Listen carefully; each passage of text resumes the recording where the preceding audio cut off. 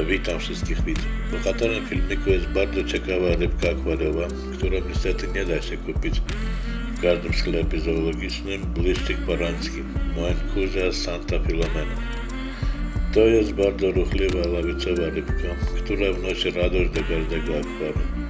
Na początku jednak chciałbym zachęcić do subskrypcji kanału, wcisnięciu dzwonka i wystawieniu komentarza. Pomimo 30-letniego doświadczenia w branży akwarystycznej, to w dalszym ciągu zachęca i motywuje mnie do dalszej pracy, celem którego jest rozpowszechnienie miłości do akwarystyki. Błyszczyki parańskie pochodzą z Ameryki Południowej, gdzie szeroko rozpowszechnione w systemach rzecznych w pasie tropikalnym występują w Brazylii, Peru, Paragwaju, Boliwii. Preferują czyste rzeki o powolnym nurcie z gęstą roślinnością, płynące pod baldachinem lasu tropikalnego.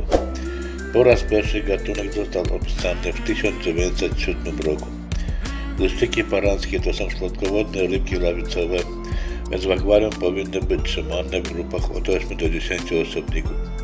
Warto zaznaczyć, że w większej grupie rybki nie tylko prezentują się ciekawie, ale także pokazują bardziej naturalne zachowania i zanika ich agresja wobec przedstawicieli innych gatunków.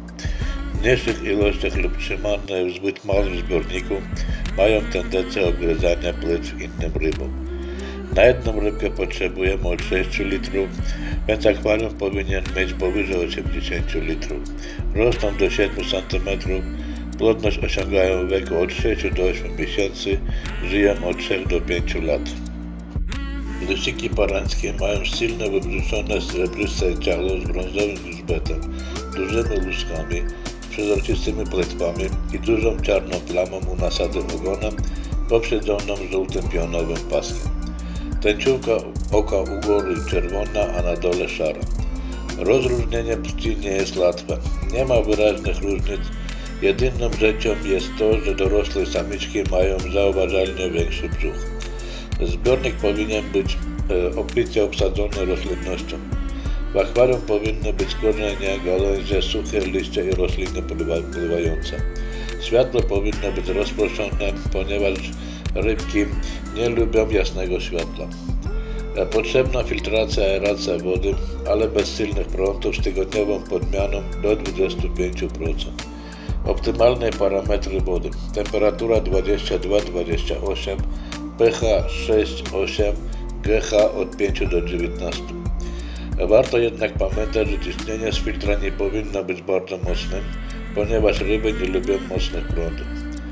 Zaleca się stosowanie filtra z materiałem filtracyjnym na bazie torfu, która poza swoją główną funkcją nasyca również wodę substancjami występującymi w środowisku naturalnym.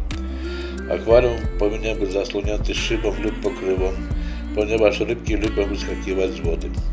Liściki parańskie to są wszystkożerne rybki. W naturalnym środowisku odżywiają się niewielkimi bezkręgowcami, larwami, zooplanktonem, glonami. Karmić rybek można żywą ochotką, rurecznikiem, wodzeniem, ocznikiem, artemią. Jednak potrzebne będą i pokarmy pochodzenia roślinnego. Dieta powinna być zróżnicowana i bogata w pokarmy mięsne, gwarantujące dobrą kondycję i intensywne wybarwienie ryby. Można karmić jak żywymi, tak i mrożonymi i suchymi pokarmami. Warto również zaznaczyć, że rybki lepiej rosną, kiedy dostają pokarmy żywe lub mrożone. Rybek trzeba wykarmić 2-3 razy dziennie w małych proporcjach. Błyszczyki parańskie nadają się do akwarium towarzyskiego. Można ich trzymać wraz ze skalerami, neonami czerwonymi, neonami Innesa, błyszczykami Peresa, karlowatymi pielęgnicami, jak na przykład pielęgnica Ramireza, żalowniczka, razbora glinowa itd. Nie poleca się natomiast trzymać ich z wielonkami i rybkami drapieżnymi, dużymi pielęgnicami, pielęgnicami z jezior Malawi i Tanganika. Rozmnażanie. Rozmnażanie błyszczyków parańskich jest stosunkowo łatwe pod warunkiem, że ryby są w dobrej kondycji. Zbiornik tarliskowy powinien mieć około 25 litrów. Na dno umieszczamy siatkę, żeby rodzice nie mieli dostępu do ikry. Oświetlenie powinno być słabe. Temperatury trzeba podnieść o 2-3 stopnie. Woda powinna być miękka i kwaśna. Parametry wody. Temperatura 25-27 pH od 5,5 do 6,5, GH od 4 do 6. Wodę przygotowujemy w proporcjach 3 do 1. 3 razy po filtrze obrócone osmozy do jednego z akwarium. Dodajemy napar czystek orchowych tak, żeby woda stała koloru jasnej herbaty. Tak przygotowaną wodę trzymamy bez rybek 2-3 dni. Niezbędna aeracja ogrzewania wody. Przed planowanym tarlem rodziców rozdzielamy, trzymamy osobno około 2 tygodni. Karmimy żywymi lub mrożonymi pokarmami. Pod koniec drugiego tygodnia samce robią się jaskrawsze, a samiczki nabierają ikrę i stanowią się wyraźnie grubsze. Lepszy efekt uzyskamy przy stałym rozmnażaniu w proporcjach jeden samiec na jedną samiczkę. Do zbiornika tarliskowego wrzucamy pływające roślinki tak, żeby część zbiornika została wolna.